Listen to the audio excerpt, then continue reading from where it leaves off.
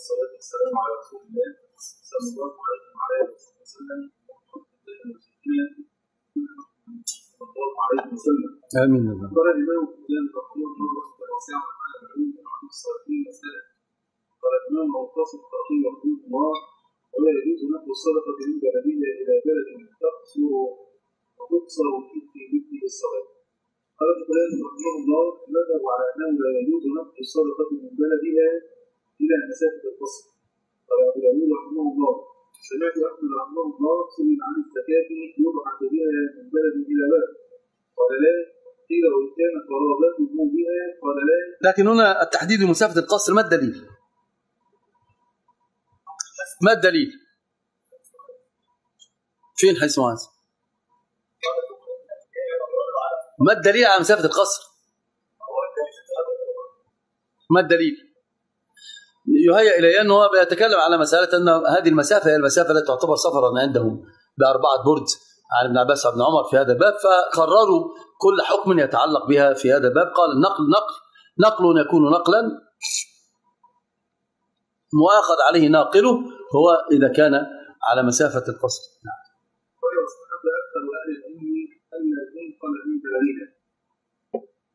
هنا قال قال استحب. ورواية أحمد على الوجوب يعني على المنع. والشافعية أيضا يرون على المنع وإن كان أيضا وجه عند الشافعية ويترجح أيضا عندهم أنه ليس على المنع وأنه يجوز نقلها وأنه رجح النقل. وإن كان الصحيح المعتمد عندهما عدم النقل. ويأثم من؟ من نقل إن كان في البلد ما في البلد غنية. إلا إذا كان في البلد غنية هذا فرع آخر يتكلمون عنه. وأساس ذلك حديث معاذ في قوله تؤخذ من أغنيائهم فترد على فقرائهم هذا يمكن يرد عليه بسهولة كيف يرد عليه؟ يعني يرد على الاستدلال به كيف؟ نعم فقرائهم عائد على إيش؟ على المسلمين وإن كان الظاهر أنها عائد على نفس البلد لكن قلنا على المسلمين وهذه التي جعلت الأئمة يقولون يحرم إعطاء الزكاة ليش؟ للكافر نعم تفضل. الرجل ضعيف مثلا. لا لا يأخذ. لا تنقل الزكاه من بلد لبلد والله والله أنا أقول لا تنقل حقا إلا إذا كان في البلد غنيه لكن لكن لا أؤثم خففت الحكم لكن لا تنقل. شيخ أصلا التأصيل العام الأقربون أولى بالمعروف. آه، أنت من بجانبك يجوع وتقول لي أنا أغني البلد الفلاني. لا دي دي مسألة أخرى دي, دي مسألة ثانية. الاستثناء من أجل القرابة الاستثناء من أجل من أجل المصلحة العامة. طبعا إذا كان أصلا في جهاد في علم في هذا جائز.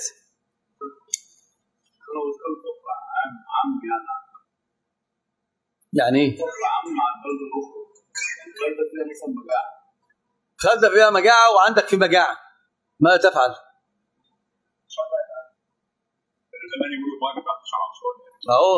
ما أمثال الامثال المصرية العالية. الماية ما تعديش على عطشان. يعني لازم يشرب. ده حقا والاقربون أولى بالمعروف. نعم تفضل. قال سعيد رحمه الله حدثنا سفيان عن معمر عن معمر عن ابن طاووس عن ابيه انه قال في كتاب معاذ بن جبل رضي الله عنه من أخرج منه من أخرج من مثلاه إلى مثلاه فإن صدقته عشر وعشره ترد إلى عمر بن عبد العزيز رضي الله عنه رضي الله عنه المخلاف هنا العشيرة على ما قال فيها ماشي وروي عن عمر بن عبد العزيز رضي الله عنه رحمه أنه رد زكاة أتي بها من خراسان من الشام إلى خراسان. وروي عن الحسن والنخعي رحمه الله أنه ما كره نقل الزكاة من بلد إلى بلد إلا بذي قرابة وكان ابن علي رحمه الله يبعث الزكاة إلى المدينة.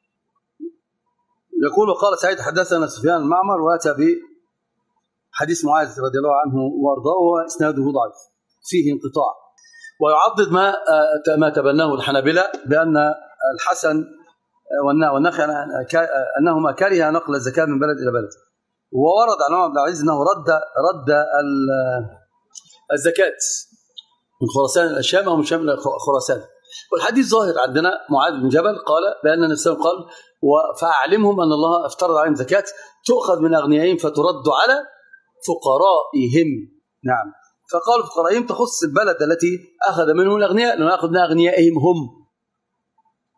فترد على فقرائهم هم. ومن ناحية النظر هم أولى الناس بمال بمال ذويهم. هؤلاء هم أهلوهم.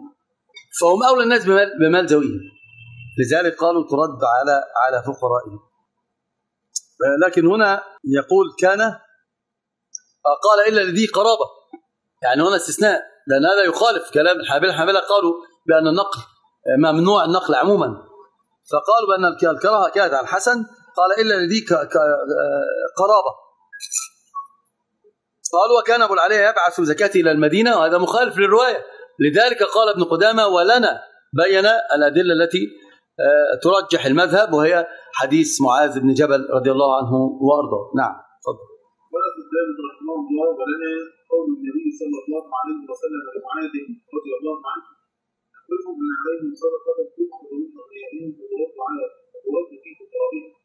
على ولما بعث معاذا رضي الله عنه ولما بعث معاذ رضي الله عنه الصدقة ناجيا إلى عمر رضي الله عنه انكر عليه ذلك عمر رضي الله عنه وقال لا ابعثت جاريا ولا اخذ ولا اخذ ولا آخذ جزيه سبحان الله. لتأخذ من اغنياء الناس فترد فترد في فقرائهم وقال معاذ رضي الله عنه ما بعثت إليك بشيء وأنا أجد ان يخرج منه قال رواه ابو عبيد رحمه الله آه حديث ضعيف لكن هذا يبين لك أن عمر بن الخطاب بين له أن الأصل كأنه استقر. هذا يمكن أن يستدل به على عدم جواز النقل نعم أخويا. علمي عدم جواز النقل من الحاجة هو نعم نعم لكن حقا هو اجاب الإجابة الصحيحة لكن عشان هو مش متاكد منها وجايبها سرقه مش بيدافع عنها. ساكت مرعوب. حقيقة الأمر يمكن الاستدلال بذلك على الإجماع. الصحابة جميعا يقرون عمر بن الخطاب في هذا الباب. ولذلك أرسل إليه قال ما ما ما, ما بعثتك جابيا ولا ولا اخذا الجزية. أقره معاذ وبين له العلة أنني قد. كل من عندي قد اختفى وهنا باتفاق وبإجماع أيضا النقل إذا اكتفى أهل البلدة. وعايز تقول صلاه النبي عليه الصلاه والسلام لا زال واليوم كثير دولة كبيرة. قال تؤخذ من أوليائهم أوليائهم الدولة كلها تفضل أولياء طب وانت عايز إيه بقى؟ ماشي انتهينا ماشي. ما اقرك بذلك. إيش بقى فيه؟ تسأل يعني؟ ماشي يا عم اليمني. نعم هي تكون كذلك. ثم إذا أهل البلد إذا اكتفوا يبعث كما بعثوا بالنبي صلى الله عليه وسلم. وبعد كده اجتمع. تفضل يا شيخ. وروي أيضا عن إبراهيم بن عطاء مولى عمران بن حسين زيادة أو بعض الامراء بعث عمران رضي الله عنه على صدقه لما رجع قال اين المال؟ قال المال بعثني فقبلها من حيث كنا نقولها على عهد رسول الله. صلى الله عليه وسلم. عليه وسلم. ووضعناها حيث كنا نضعها وهذا حديث صحيح. يبقى معنى ذلك قد أخذناه من حيث أمرنا ووضعناه حيث أمرنا. وش أمرهم؟ تؤخذ من أغنيائهم فترد على فقرائهم. فهذه فيها دلالة أنه رفع ذلك للنبي صلى الله عليه وسلم على أنها لا ترد إلا لفقراء المدينة التي أخذوا منها الزكاة. نعم.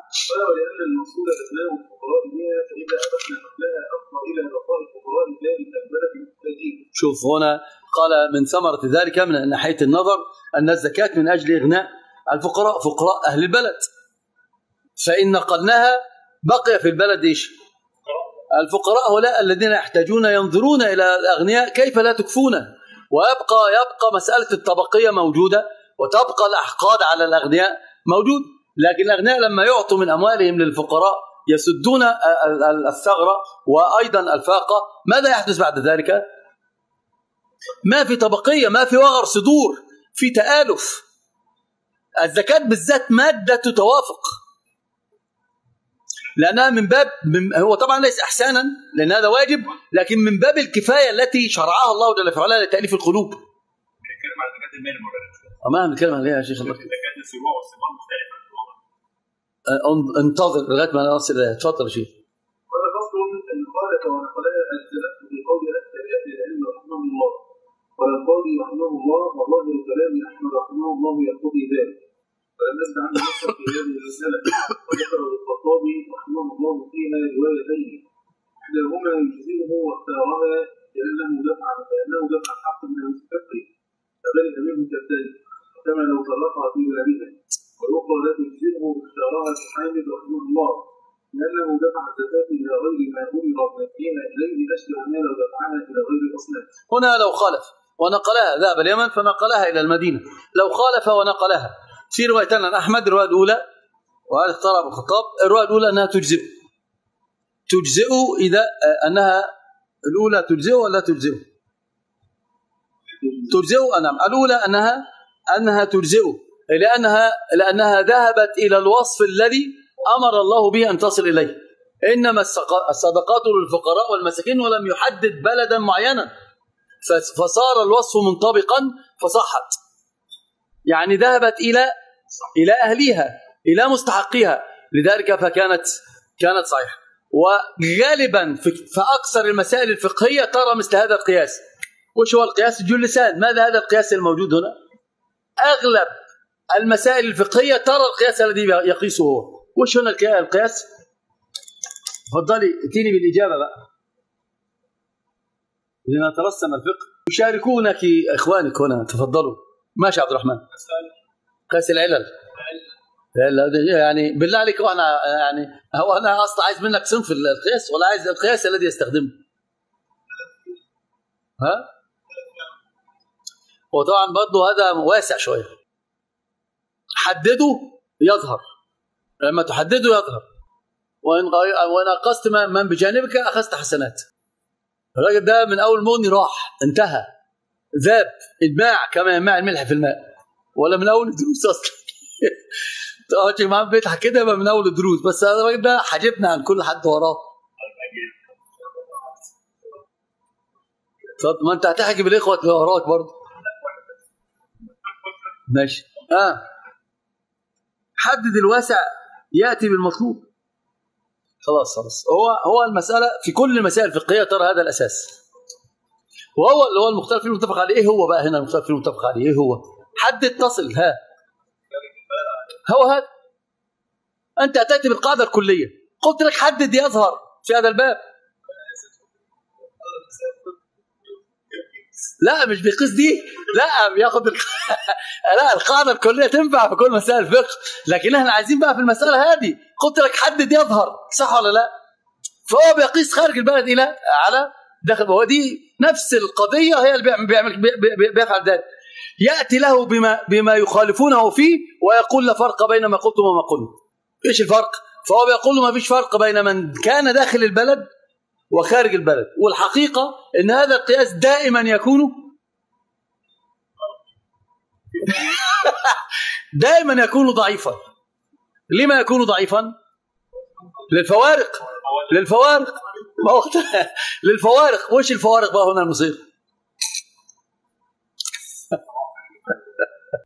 والله في فوارق. والله في فوارق. هاتها وقيس. لو أنت ماشي معك النهارده بالفهلاوه عشان دخل بلد دخل بلد. أحسنت؟ أول شيء تعلق الفقير بالمال. الذي داخل بلد يتعلق بالمال ولا ما يتعلق بالمال؟ يتعلق بالمال. صحيح. دي الأولى. الأمر الثاني. أه، لا هو أخرجها الفقراء وفقراءه صنف واحد. بس نحن نقول نقول نقول الاقربون اولى بالمعروف الاقرب الأقرب أولى بالإحسان والمعروف في الأصول الكلية من الأبعد. الأقارب أولى من الأبعد. ولذلك النبي صلى الله عليه وسلم حتى في النذاره لما لما اتى بالنذار. أنذر من؟ وأنذر عشيرتك الأقربين. ولما قام قال قال يا فاطمة بنت محمد سليم من ما شئت. لا يغني عنك من الله شيئا. في إيش؟ بتكلم على الفوارق. سيب الفوارق بين بين اللي خارج والداخل. الآن سيبك. أنا ببين له القياس هنا قياس لا يصح يعني أنت هو بيقول لي أنا أنا اتي بك نظرا واثرا في هذا الباب. لو لو قلنا أخرجها معاذ قد بعث. طيب؟ هذا اثرا. طب نظرا قال بانه بأن بأنه قد أعطاها اولا لوصف منطبق. ده فقير وده فقير. فالوصف ذهب المستحقية. قال ولا فرق بين خارج بلد وداخل بلد. لأنه يقول وقياسا على قاس الخارج على إيش؟ على الداخل. قلنا له القياس هنا قياس مع الفارق فأنا أبعدنا القياس. يبقى له أن الوصف إيه؟ لا غير منطبق ما فقير وفقير إحنا قلنا هنا في تعلق الفقير. استدعك دي الفوارق. لكن وده اللي يجعله إيش؟ الأقرب أولى. لكن أنا بنتكلم عنه الوصف. هذا وصف من مواصف الله. إنما الصدقات ولا مش وصف؟ خلاص هذا منطبق فاهمني؟ وده اللي يجعل الأمر إنه يجزئ لكنه خلاف الأكمل. تعلق الفريق الف- الفقير. الأمر الأول الأقربون هم الأولى. الأقرب الأكمل في ذلك الأقربون هم الأولى بالمعروف. طيب؟ والأمر الثالث ال- الحقد والطبقية بتكون في البلد أكثر منها فيش ما, ما إيه اللي هيحصل؟ الأثر سيكون في الداخل لا في الخارج. مفهوم؟ طيب وال- والرواية الثانية الثانية عن أحمد قال هذا الذي قال أنه يجزئ في هذا الباب. الرواية الثانية قال لا يجزئ. لما؟ قال أنه أخرج على غير وفق ما جاء به الشرع. قلنا ما جاء نعم؟ آه نعم. أم- يعني قال الآن على غير وفق ما جاء به الشرع. جاء الشرع أن تأخذ من من الأغنياء تعطي الفقراء في نفس في نفس البلد. إنه يخرج من هذا من هذا من هذا ال- التأصيل بأنه قال فقرائهم عامة في المسلمين. وهي موافقة لعموم ف- فانطبق الوصف واختلف الكمال. مفهوم؟ يبقى اذا هو الذي فعله خالف الكمال ولا ما خالف؟ خالف الكمال. لكن انطبق الوصف ولا ما انطبق؟ انطبق الوصف في هذا في هذا الباب. الحقيقة أنها يعني يعني أنا كنت أقول يأتى ما لا تجزئ صراحة. ها؟ آه الآن أقول خلاف الكمال خلاف الكمال خلاف الكمال. تفضل. قال فصل من استغنى عنها فقراء أهل بلدها جاز نقلها نص عليه أحمد رحمه الله وقال وهذا باتفاق. قال فإن استغنى عنها فقراء أهل بلدها جاز نقلها نص عليه أحمد رحمه الله فقال تحمل الصدقة إلى الإمام إذا لم يكن فيها فقراء أو كان فيها فضل عن حاجته قال أيضا لا تخرج صدقة قوم عنهم من بلد إلى بلد إلا أن يكون فيها فضل عنهم لأن الذي كان يجيء إلى النبي عليه الصلاة والسلام وأبي بكر وعمر رضي الله عنهما من الصدقة إنما كان من فضل منهم يعطون ما يكفيه ويخرج الفضل عنه. يعني هنا الآن هو بيقول المسألة دائرة هذه المسألة ليس فيها خلاف. أنه إذا استغنى أهل البلد وبقي من الزكاة ما بقيت أنها تخرج تخرج تنقل. وحتى في النقل هنا قد أتوا بأنها تنقل إلى الأقرب فالأقرب. المسألة على الأعدل في هذا الباب. وقال كل ما كان يأتي إلى النبي صلى الله عليه وسلم أو يأتي إلى عمر أو ابي بكر أو العمر كان هذا الفضل. إذ الأصل خرج لأهله. فاكتفى الأهلون. ال- الف- الفضل كان لاهله فاكتفى الأهلون بقي بقي إيش؟ لا الاصل الأصل كفى ال- الأهل فبقي إيش؟ الفضل الفضل نعم قال أبو عبيد رحمه الله في كتاب الأموال الاسلام عن عمرو بن شعيب أن معاذ بن جبل رضي الله عنه لم يزل في الجنة إذ بعثه رسول الله صلى الله إذ بعثه رسول الله صلى الله عليه وسلم حتى مات النبي صلى الله عليه وسلم. صلى الله عليه وسلم. قدم على عمر رضي الله عنه ترددوا على ما كان عليه فبعث اليه معاذ رضي الله عنه بثلث بثلث صدقة الناس. فأنكر ذلك عمر رضي الله عنه وقال لم ابعثك جابرا ولا آخذ جزية. لكن بعثتك لتأخذ من أغنياء الناس فترد على فقرائهم قال معاذ رضي الله عنه ما بعثت إليك بشيء وأنا أجد أحدا يطلب مني فلما كان العام الثاني بعث إليه بشطر صدقه فتراجع بمثل ذلك فلما كان العام الثالث بعث إليه بها كلها فراجعه عمر رضي الله عنه بمثل ما رجعت فقال معاذ ما وجدت أحدا يأخذ مني شيئا.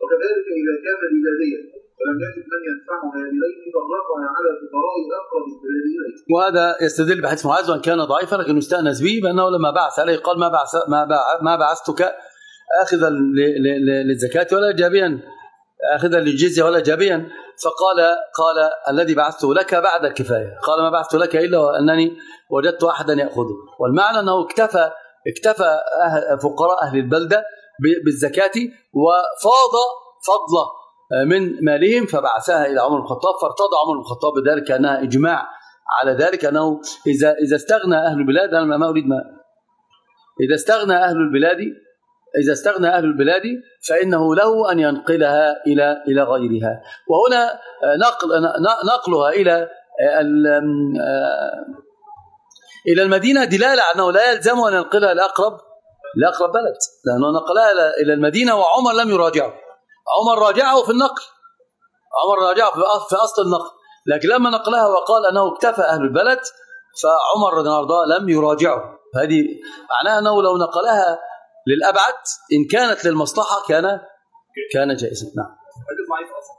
الحديث فيه ضعف تفضل. قال احمد رحمه الله محمد رحمه إذا كان الرجل في بلد في بلد الي أن تؤدى حيث كان فإن كان بعضه حيث هو وبعضه في مصر في مصر تؤدي زكاة كل مال. في مصر إيش هذا أشرف. يعني لما يعني مش مش مش مصرنا. لا ده ليه؟ عشان الصرف يعني؟ عشان مصروف. ماشي يا عم. سكت الله خير. فان كان غائبا عن مصره واهله والمال معه فاسال ان يعطي بعضه في هذا في هذا البلد وبعضه في هذا البلد هنا الكلام على قاعدة عامة وهي أن الزكاة تكون إيش؟ تابعة للمال تابعة للمال. فحيث ما كان المال كانت الزكاة في المال. في هذا الباب لكن لو كان في مكان وماله في مكان وبعضه في مكان فالأولى أن ينفق ينفق بعض المال في في في المكان الذي هو فيه وأيضا البعض الثاني في المكان الذي المال فيه وبذلك يستفيد كل ألف ألف قراء قال فأما إذا كان المال في البلد السنة هات تفضل.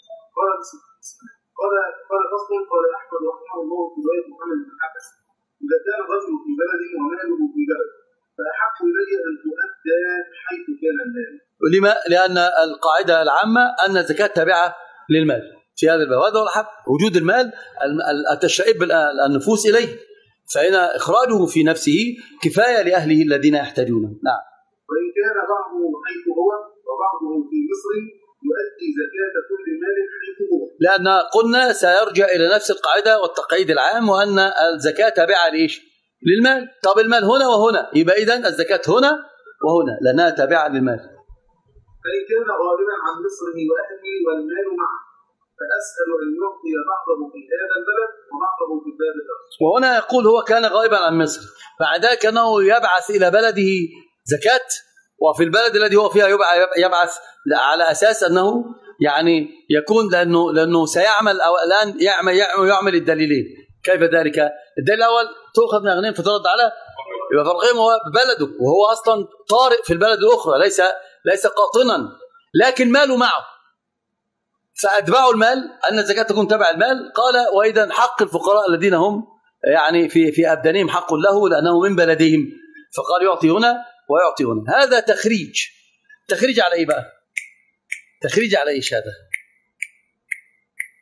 مصير. فقط أنا عشان يظهر ل- ل- للجلسان ما تقول أن الفقه هذا غزل. ونادر جدا أن تجد فقيها متقنا. قد كما قالت صباحا قد تجد فقيها مسمعا. مسمعا يعني إيه؟ لا لا هو مس... هو يسمع. ها؟ يحفظ الفروع الفروع وماذا يفعل فيها؟ ينقل خلاص. ما هو ناقل فروع. ما في. فيحتكت بأمثال هؤلاء. حافظ فرع جدا فهو ينسب القول ل- لامامه و... ويعني الز- الزر يمشي. ها ده تخريج. تخريج تخريج على جواز النقل. تخريج على جواز النقل. إحنا قلنا أصلا أصالة في هذا الباب. طب القاعدة ال- الزكاة تكون تابعه ليش؟ للمال التشعيب بالعمر طب هو الآن لما يضعها في بلدي ناقل ولا مش ناقل؟ ناقل. مش إحنا قلنا قف قف في الأولى. الزكاة تابعه ليش؟ أين المال؟ خلينا أنت قاعد في بورسعيد. وأنا. ما هم. الآن إحنا بنتكلم على الواقع الموجود. والناس علموا أن الرجل ده غني لأن طبعا أي أي تاجر أو أي غني ينزل تتسامع به الفقراء. ده هنا أصلا كلمة مش كده. ده حرف بيطير والفقراء كلهم يلتفوا أنت شوف في مكة إيه اللي بيحدث؟ لو شافوك بعجال انتهى موضوعك. انت فاهمني؟ فهو اصاله نزل والمال معلوم هذا يتسامع به الناس. والزكاة تابعة للمال والمال في يده. يبقى لما ينقله لما يعطيه لبلدي والمال مش في بلده في هذا الباب انخرمت القاعدة. طب ليه ما انخرمت القاعدة؟ على تخريج جواز تخريج جواز النقل في هذا في هذا الباب. نعم. اتفضل. فاما إذا كان المال في البلد الذي هو فيه حيث ينفق فيه حولا تاما أو شوف هنا أنظر بقى وقال له خلاص بقى أنت كده. يعني إذا كان إذا كان حولا كاملا فأنت صرت من إيش؟ من أهل البلدة هذه واحدة والمال كمان أيضا معك. فهنا من طرفين أنك منهم والمال والمال والمال معك. فلا تخرج لبلد آخر. إن كان المال تجارة تسافر به فقال القاضي تسافر به فقال القاضي رحمه الله يفرق أي موضع كان ومفهوم كلام أحمد رحمه الله في احتمال الحول التام أنه يسهل في أن يفرق في ذلك البلد وغيره من البلدان التي أقام بها في ذلك الحول. يعني هو هو الكلام هنا قال إذا كان حول تام يكون في نفس البلد الذي هو فيها لأنه عرف الفقراء بأسرهم ويستطيع أن يفرق فيه. لكن على الكلام الثاني هو يقول يفرق زكاته حال حوله يعني في في في في ان في أنه لا يمكث مكانا حولا تاما بل هو متنقل. يعني بيقول في هذا أو تجاره يسافر بها قال القاضي يفرق زكاته حيث حال الحول. وهو متنقل نقول له حال الحول عليك في أي بلد. قال في في كذا. قال له أخرج. والمال طبعا معه لأنه هو مع المال بيسافر به. فيقول أخرج في البلد الذي تم الحول آه، فيه. الاموال اللي في البنوك مكان معين يعني بنك ما هو مش معقول انت في مصر وهتحط مالك في سويسرا يعني؟ يعني في احد آه. لا ده أنا ده ده الأصل الآن. ده ده ده ده ده, ده الأصل. صحيح. ده ده الأصل إن المال يكون خارج البلد.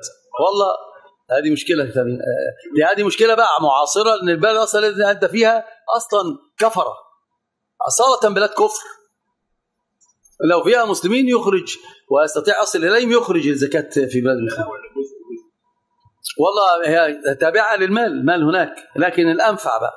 لأنه أصلا إحنا بنقول إن المسلم اللي هناك عاصي. فلو وجدنا التفريق بين عاصي وطائع فالطائع أفضل لأنه هو جالس في بلد متبرع متبرع منه فيها.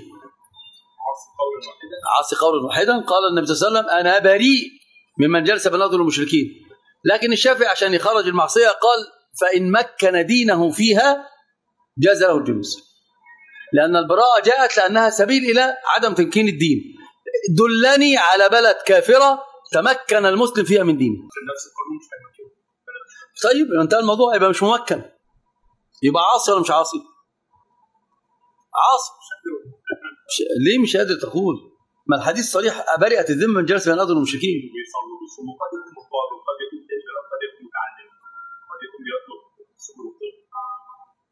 اجعل القدق- القدقده خلف الكوكب. نعم.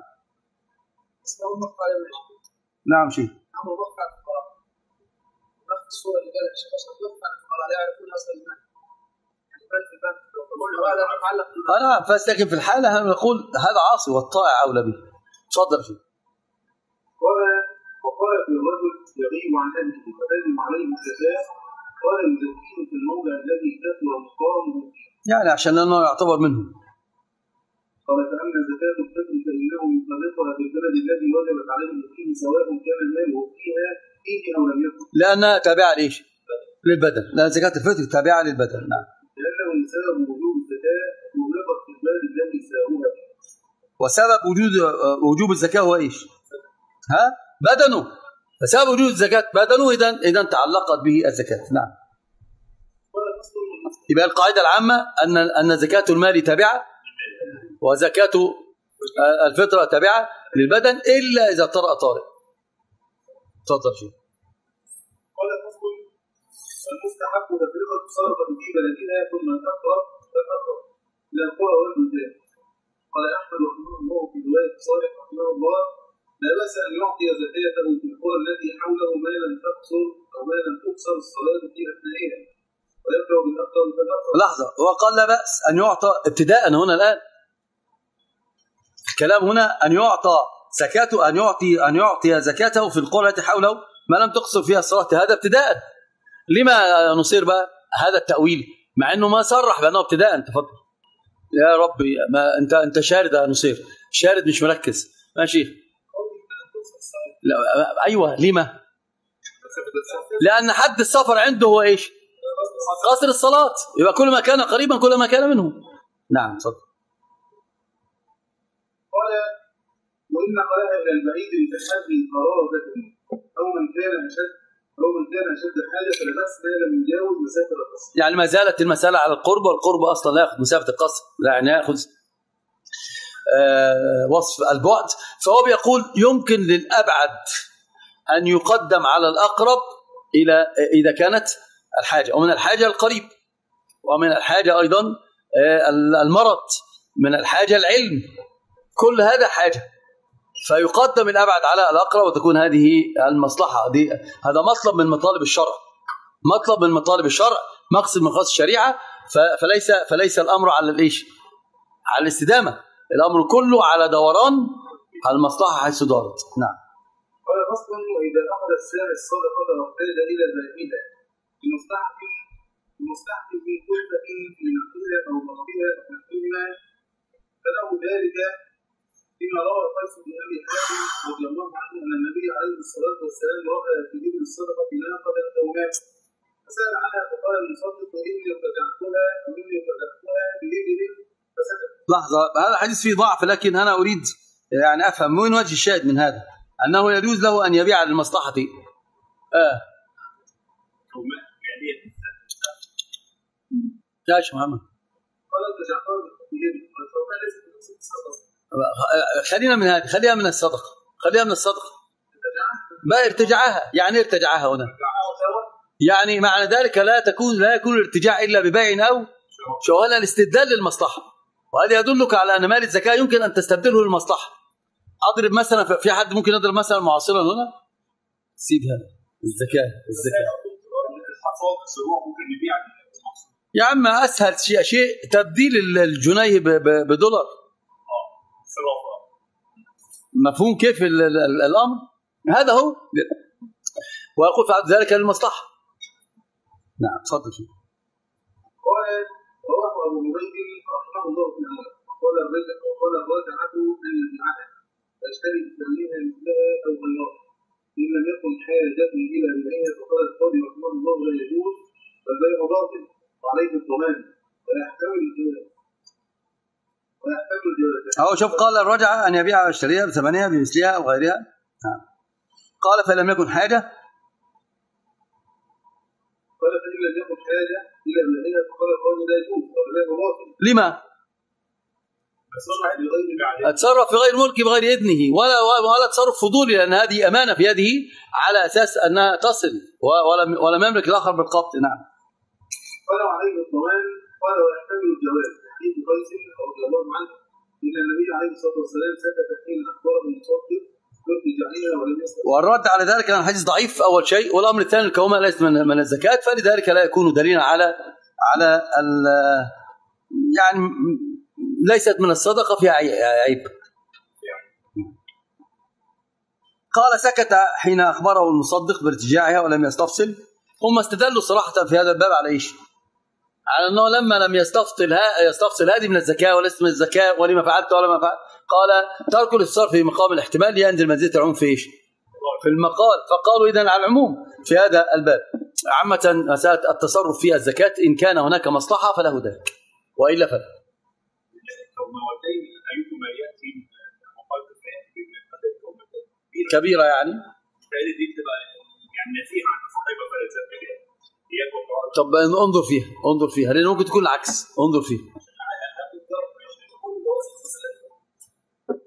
في إيش؟ إذا كان الوكيل. إذا كان الوكيل. يعني وك... آه وكيل. إذا كان وكيلا في الزكاة له أن يتصرف فيها للمصلحة فقط. ها؟ لمصلحة المال طبعا.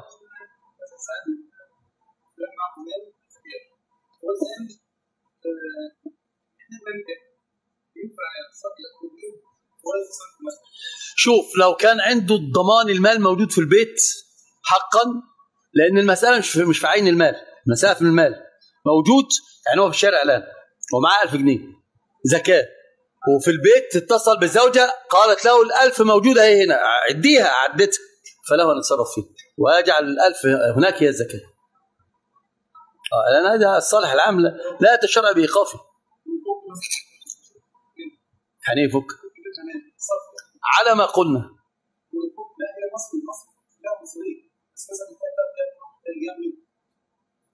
عشان يعطي هذا وذاك يعني؟ امال عشان إيه إذا كان البديل موجود. البديل موجود خلاص. البديل البديل لابد يكون موجود. هذا الأهم. الوتر إيه؟ لمصلحة المال. أنت أصلا الوكيل الوكيل مأمور شرعا بالأحظ الإيش؟ الأصيل هو الفقير. فمصلحة المال هذه أحظ. تفضل يا شيخ. أنا وصلنا في كتاب البيوع. ما أدري هل انتهينا من الصيغة أو ما انتهينا من الصيغة. وأيضا شروط البيع. سندخل فيه إحنا قلنا أركان أركان البيع ثلاثة. صحيح. العاقد وهذا انتهينا منه.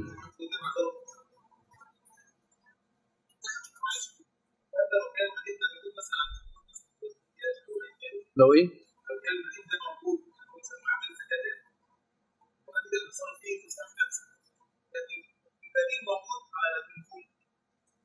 يعني موجود مش هيضيع. مش هيضيع وهو موجود خلاص المهم يكون موجود. ده الأهم. آه سؤالي في صورة الشخص بمصر وماله في بلاد الكفار. يخرجها في مصر. يخرجها في مصر. لما؟ لأنه لأنه لأنه قد يخرجها لمن لا يستحق. وقد أيضا نقول بأنه آه، كانت المميزة بين طائع وعاصي. إخراجها لهذا الرجل في هذا البلد يمكنه من الجلوس فيها. وفقره يخرج منها. يبقى الأولى يكون إيش؟ فقيرا ليحقق ال- ال- ال- النص. لا تراءى نارهما. أنا بريء ممن جلس بين اظهر المشركين. يا دكتور. لو كان على هو إزاي يعني؟ يعني بعض الناس مثلا لا أنت بتتكلم على الزكاة في الدين يعني؟ الحمد لله لو كان عشان ما نتكلمش في الزكاة في الدين. ساعد المال ساعد الذي يأخذ المال مال الفقراء ولكن هو لديه دين على بنين لا لأن المال ممكن يجحد لا ما يصح.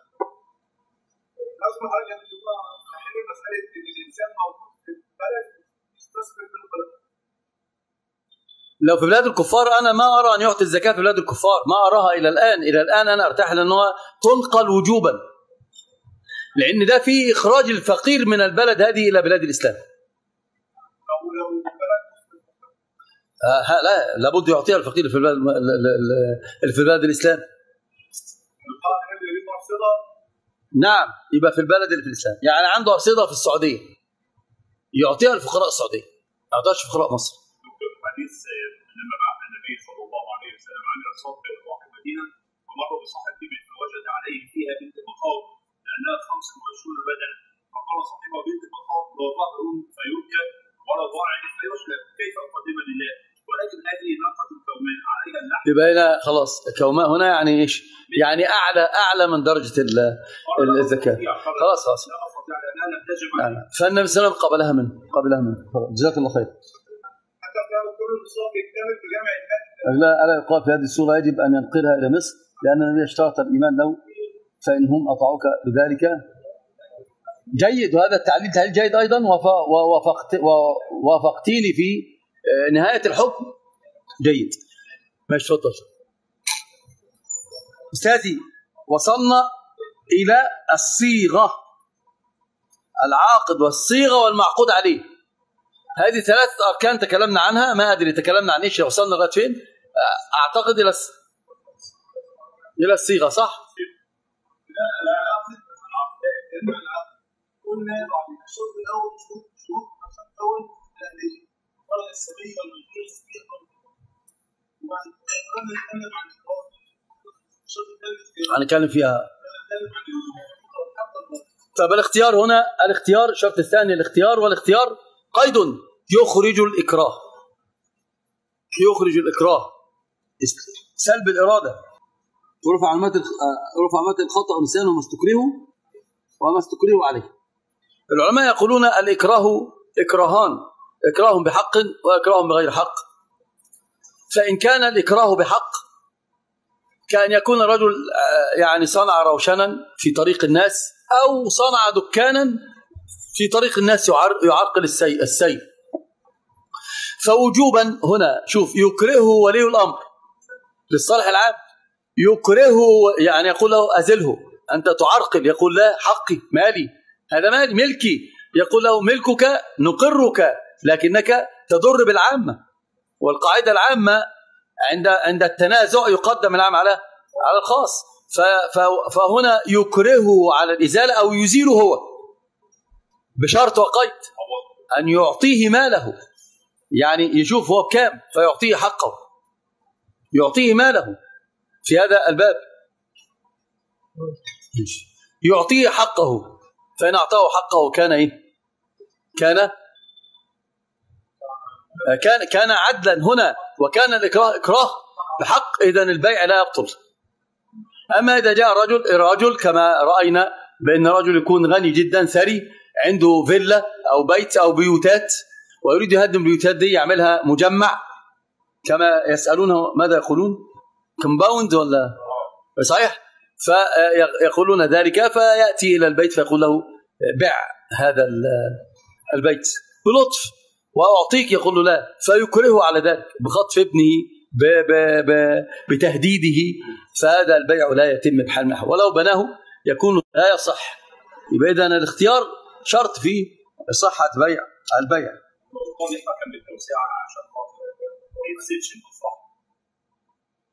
نعم. ما قلنا خلاص هذا إكراه بحق والإكراه بحق على التعويض يجوز وهو القاضي وكيل ولي الأمر فله أن يزيله بحق ويعطيه حقه ويعطيه حقه. لو أعطاه مال أكثر يعني ما فيهاش مشاكل بقى يا شيخ خلاص ما هو لمصلحة العامة أكرهه والإكراه هنا بحق فيجوز ذلك. نعم. وصحيح في هذا الباب أيضا ما دون ما دمنا تكلمنا عن الاختيار فلا بد ان ان يكون تحتها مسائل. مسألة الإكراه ومساله ليه؟ الإكراه. لا الإكراه ده فرع عن هذا الإكراه الإكراه الإكراه في ذلك يصح بيعه وشراؤه إلا إذا كان دفعا لمصيبة. ها. لا ممكن نتكلم على السكران. مش إحنا قلنا سلب الإرادة. السكران يدخل تحته. مسألة السكران تدخل تحته. لما؟ لما؟ لأن السكران لا إرادة له. والمذهب المعتمد فيه والجمهور يقولون أن بيع السكران يصح وشراء السكران يصح. من باب العقوبة. عندهم دليل واحد فيه روح تمسكوا به. ما هو سكران؟ سكران يسأل سكران. أيوه الإجابة هتكون إيه؟ بالله سكران بيسأل سكران. الإجابة هتكون إيه يا شيخ نصير؟ سطلان. أو شوف أشرف صاحي. ما فيش صحيان عند أشرف إلا في السكران رد الله تعدى. تعدى تعدى فايه يعني هذه هذا الدليل الذي لهم روح دليل فيه؟ لا إله إلا الله. دكتور تامر. يجلد أنا بتكلم على الدليل هم بيتكلموا في المشرق والمغرب قال الله تعالى يا أيها الذين آمنوا لا تقربوا الصلاة وأنتم طب وجه الدلالة بقى؟ أو ده الدليل. جبت جبت لكم الشاهدات والدليل هات وجه الدلالة. عندك يا مروان؟ النكاح ممكن مفهوم مخالفة. ها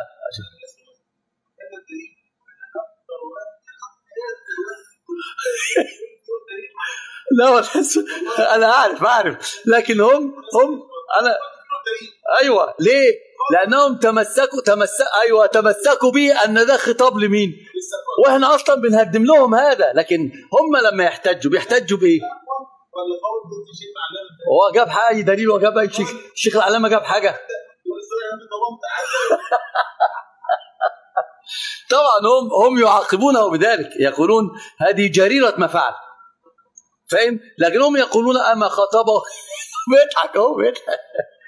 خاطبه قال الذين آمنوا لا تقربوا الصلاه أنتم سكارى. ده طبعا أصلا مهدوم من أصله لأنه هو خاطبهم حالة إيش؟ أيوه نعم شوف شوف شوف. شوف شوف لما لما ربنا يحكم أشرف في حد في حاجة جن يعني. فاكرين بايه استغفر الله. نعم. نعم هو أصالة حقيقة الأمر. هم نقول له أي عقوبة؟ الحقيقة الوصف غير منطبق تماما ولذلك المزني خرج من ذلك.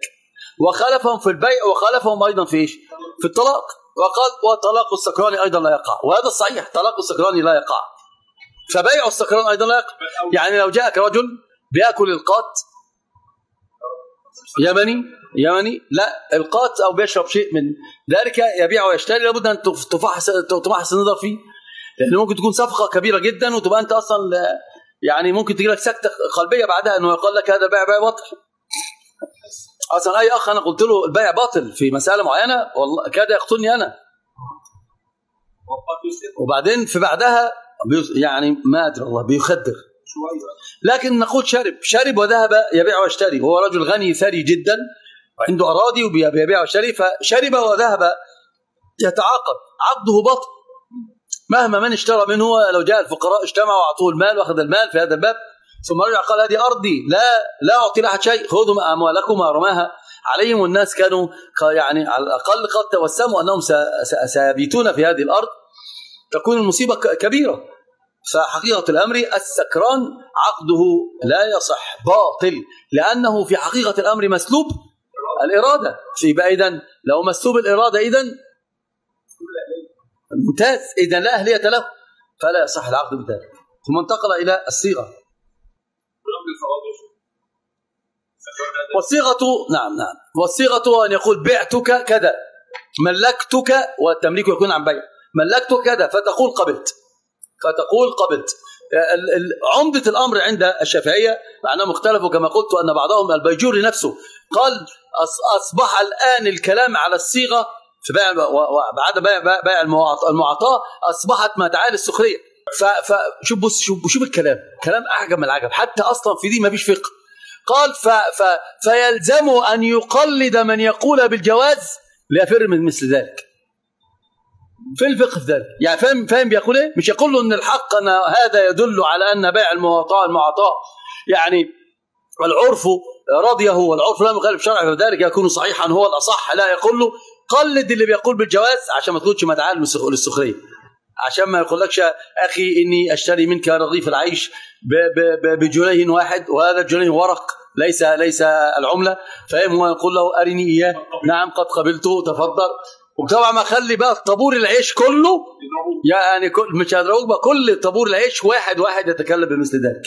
والحقيقة أنهم نزلوا الشافعية نفسها نفسهم نزلوا وقالوا وتكلم العرف يعني قالوا المفروض المفروض أن يكون المعتمد إنه لو كان العرف يعني يبيح هذه المعاملة ويثبت التراضي فيها يبقى اذا تصح المعاملة بها فهم يشترطون الإجابة والقبول بعموم قول الله تعالى إلا أن تكون جاتر عن تراض منكم. ولقول النبي صلى الله عليه وسلم إنما أسلوب حصر وقصر إنما البيع عن تراض فلا بد يكون التراضي بين بين الطرفين. نعم. قالوا ويشترط في الصيغة ألا فصل بينهما بين الإجابة والقبول. بعتك رغيف العيش بجنيه. لو جلس كلم أمه في التليفون ثم جاء صاحبه وسلم عليه ثم ذهب قال شوف البيت اتهدل بالبلكونه نزلت فنظر ورجع فقال له قبلت البيع باطل. ليش؟ لأنه طول الفصل شو بقى طب ليه بقى البيع باطل يا نصير؟ لا لا لا لا يا عندهم بقى شوفوا الفقه. ليش بقى باطل يا نصير؟ ليش يا وجيزة باطل؟ أيوه أيوه. جميل جدا التفكير بطريقة الاصبع هذا بس بقى اتفقنا أنا بقول لك لما البيع باطل عندهم. هم يرون أن طول الفصل مخالف للرضا. فلا تراضي. والأصل أن البيع لا يكون صحيحا إلا بإيش؟ إلا بالتراضي. فلذلك لابد أن لا يطول الفصل. لأن طول الفصل يبقى هو متأرجح يبقى إذا ما في رضا. وهم كده حكموا بالظن اهو الآن يعني حكموا بالقرينة عليه. مع إنهم ما ارتضوا بالقرينة فعل المعطاء. ارتضوا بها فين؟ ها نعم في في هذا الباب أهو. قالوا البيع لا يصح بطول بطول الفصل. نعم. وهذا نوى الذي علل أنه بدال ها؟ لا صحيح. ليس بصحيح وإن كان وقعت الصيغة على المعاطاة كعادات الناس أن أن يعطي المشتري للبائع الثمن فيعطيه مقابلة ذلك البضاعة الجبن يقطعها له ويعطيه إياها في هذا الباب. فهل يكفي ذلك المذهب في أصل الروضة أنه لا يكفي لعدم وجود الصيغة. بائع المعطاء لا يكفي لعدم وجود الصيغة. وخرج ابن سراج قولا أن ذلك يكفي في المحقرات وبه أفتى الروياني وغيره والمحقق كرط الخبز ونحو مما يعتاد فيه المعاطاة الإمام مالك طبعا شيخ الاسلام تيميه يرجح في البيوع الامام مالك. والامام مالك صراحة حتى في البيوع في موسع توسعة ومضيق تضييق ليس بعد تضييق في مسائل سد الزراعة موسع في أبواب أخرى التوسيع فيها أيضا ينظر فيها. والشافعي ضيق جدا ده الفرق بين المذهبين.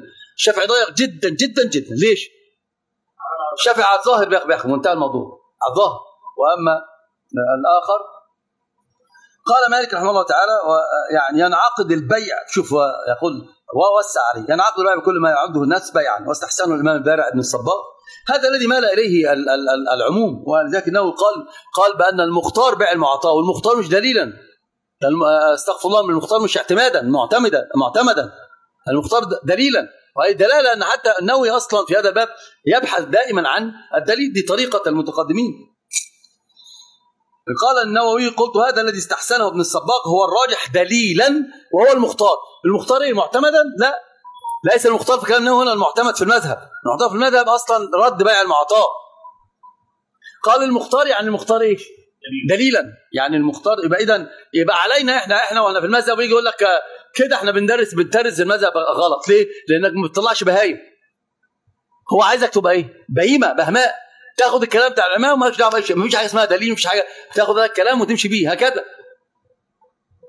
وطبعا انساق لهم بعض الأغرار الصغار الذين يتعلموا حتى على ايدينا لأن هم يريدون مظلة أي مظلة. لكن لما ظهر لهم بعد ذلك ضعف هؤلاء وما فيه من من بلاهة في العلم لا رجعوا. أو ما رجعوا تظاهروا بالرجوع لكنهم خلاص انتهى أنهم لا علم لهم في هذا الباب. شوف إنه قال وهو المختار. يعني المختار إيش؟ يعني المختار إيش؟ اعتمادا ومعتمد؟ مختار دليلا لا. قال أنه لم يصح في الشرع اشتراط لفظ فوجب الرجوع إلى العرف كغيره وما اختاره المتولي وأيضا البغوي. وكثير من علماء الشافعية قالوا ذلك واختاروه وردوا المعتمد. وطبعا أصلا أصلا الآن ترى مما عمد به البلوى هو مسألة الصغار الذين يذهبون يشترون والأهلية غير موجودة. والمسألة كلها أن العرف قد العرف قد إيش؟ قد قد أجاز ذلك. العرف قد أجاز ذلك.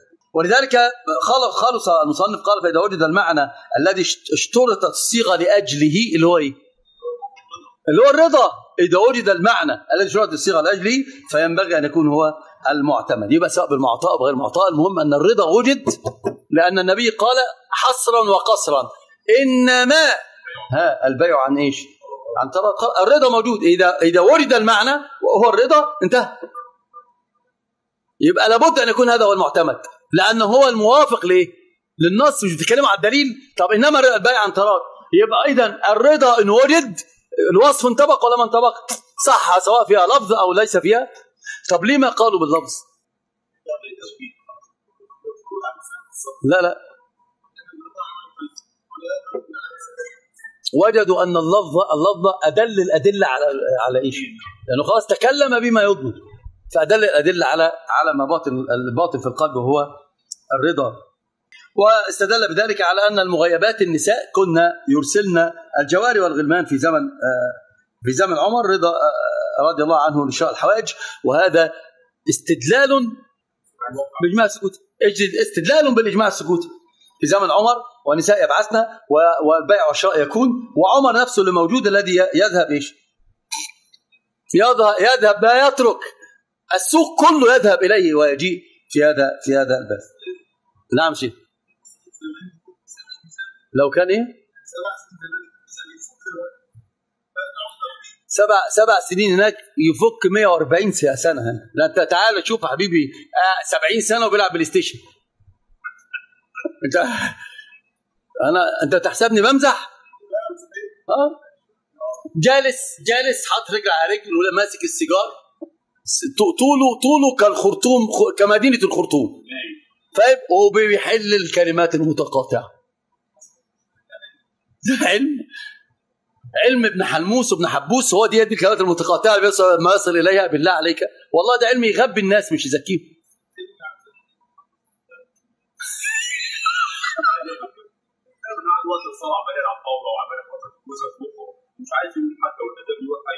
يا رب. يهدينا ويهدي الناس يا رب. يا رب يهدينا ويهدي الناس يا رب. والله أنا ما تعجبت لذلك. تعجبت إن الناس أصلا جلست الآن لكل فارغة وكل وكل وكل تافهة ولم يهتموا بدين الإسلام بحال من الأحوال. أي شيء في الدين ما فيش. النبي سب ولا أحد ولا أحد أصلا تمعر وجهه. الكتب والصحف احت- احترقت ولا أحد يعني تحرك له ساكن. ما في. الناس في سبات عميق وأنا أقول ما زال ما زال الناس يحتاجون إلى أن يضغط الله عليهم ضغطات مش ضغطة واحدة. لابد من الرجوع قال النبي صلى الله عليه وسلم لما رأى منهم هكذا ما هو قد يصل إلى الميؤوس منه قال اللهم عليك بهم. اللهم اللهم سنين. اللهم عليك بمضر. اللهم سنين كسنين يوسف. مسألة الدين يا شيخ. عداوة الدين الآن بقت بجرأة غريبة. من الذي جعل الذي يتجرأ على الدين يكون بهذه القوة والجرأة؟ يعني في الزمن ال... ال... ال... يعني حتى حتى بعد قرون خيرية إلى 700 سنة ما كانش أحد يستطيع يتجرأ على الدين. الآن الجرأة على الدين وأهل الدين أقوى مما تتصوروا. لما؟ لا لما لما لما؟ لأن الع... هو هذا. ضيعنا أول شيء والأمر- الثاني عما لا حياة لمن تنادي. ممكن تجد ضرب ضرب بال بال بالنبابيت كما يقولون على على على شوية ردة كان هتترش على على على خبز عيش. لكن أي شيء للدين ما في ما في أهمية بأي شيء. الواد يعني هو خلاني تضايقت وضربنا عيل صغير كان كنا نعمل حادث كبير جدا. ولد بتوك توك بيضيق على ولد بباص والتاني قام سابب الدين. أنا انهارت. ناديت عليه الولد الولد مشي. فقلت لمروان أدركه. وكان كنا طبعا أنا منشغل بالولد اللي ضربه مروان الحمد لله جزاه الله خيرا. وضربه الولد يجي شمال ومروان يجي له في نفس المكان اللي جاي فيه. يا ابني فاضي مين؟ يا حبيبي اطلع. وطبعا مروان لأن أنا أنا أنا عذر إن الليلة ال- ال- امس كانت ليلة. فلذلك ضرب الولد الحمد لله آه، آه، يعني انصلح لكن سب الدين ومشي أنا كل ذهني. الولد ده لو مات الآن عمل حادث حادث. في قاع جهنم. في قاع جهنم. وقلت له اتق الله الحقه ادركه وربنا وقفه الولد وقف ثلاث مرات عشان نروح له لكن شوف بقى الله الله له حكمه مشهود. ضربنا الولد فانشغلت أنا بالولد ثم بعد كده قلت له ادركه ما استطعنا أن ندركه. لما أما الناس بقى كثيرا كل واحد بيسب الدين هكذا. هكذا. ما في. والله لو رآنا في ذلك سيعذبنا نحن اولا. قال به فابدأوا. وإن كان الحديث ضعيف يستثنى به قال به فابدأوا. لذلك أنا قلت نحن نحن السبب فيما يحدث. نرجع بقى ونصحح المقدمة لعل الله يقبلها منا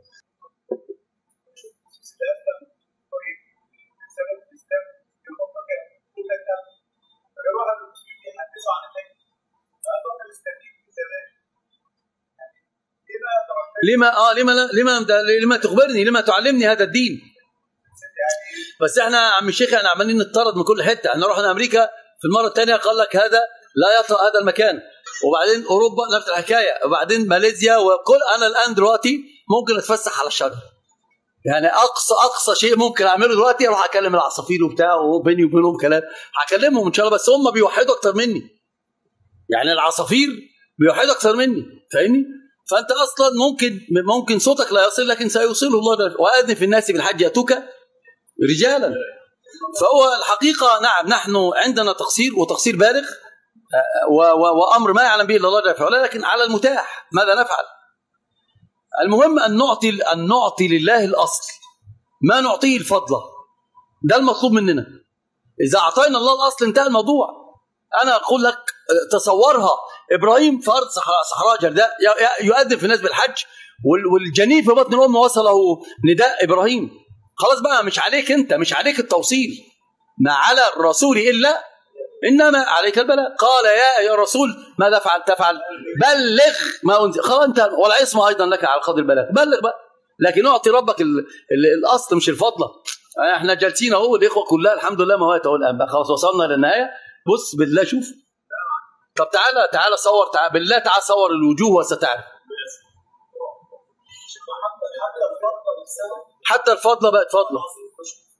إنا لله وإنا إليه راجعون. إنا لله راجعون. الله يستر علينا شيخ. هقول لك في شيء بقى يزعجك أكثر من ذلك يا نصير؟ حتى الأصل لو أعطانا الأصل القلب ليس ثابتا. الرياء والسمعة وطلب المال الممدحة ومصايب أخرى تلتف حولنا ما يعلم بها إلا الله جل وعلا.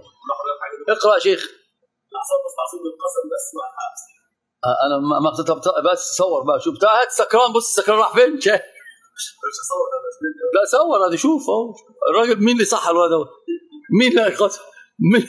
وبص شكله حتى بعد ما استيقظ قاتل قاتل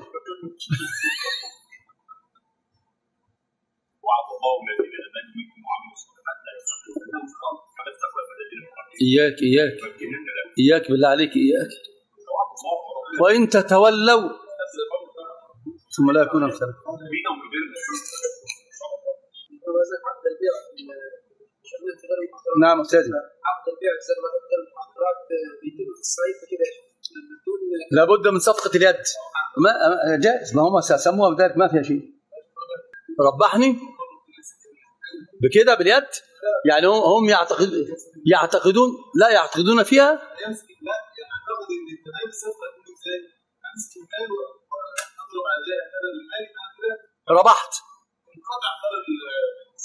بالله؟ لا كل كل كل ذلك اعتقادات باطلة. لا هو يقول له شوف بارك لي يعني. يقول بارك لي يقول له بارك لي دي المباركة اليد في اليد يعني. بارك الله في صفقة يمينك. على ما يعني ممكن ممكن لو كان كذلك. بارك الله في صفقة يمينك ويكون يقصد ذلك الدعاء له يصح تفضل الامام عليه رحمه الله ويصح بيع كل طاهر منتفع به لا يا شيخ وبيع شيء موصوف في الذمة يا بابا. أنت بتقفز. يا طالب العلم قم لا تنم فإن الزمان يا طالب العلم قم لا تنم فإن الزمان انقضى وانصرم. فكن ما حييت ضنينا به فظنك بالوقت عين الكرم. وكن حلس درسك وافرح به. تكن قائدا في غد للأمم وبادر شبابك من قبل أن يقطع عزمك سيف الهرم. ودع ما استطعت فضول اختلاط وأكل ونوم وقول يذم وصاحب نبيلا ولا تكثرن فكم مكثر يا أخي حرم وحقق إذا رمت شيئا ولا تسمن بوهمك ذات الورم. رأيت العلوم وأصحابها لدى كل ذي فطرة تحترم. فإن رمت يا صاحبي رفعة بدنيا وأخرى فلذ بالقلم. وأخلص لربك واعمل بما علمت وإن تلقى فيه الألم وصابر وثابر ولا تكسلا فإن الهموم بقدر الهمم. فإن الهموم بقدر الهمم.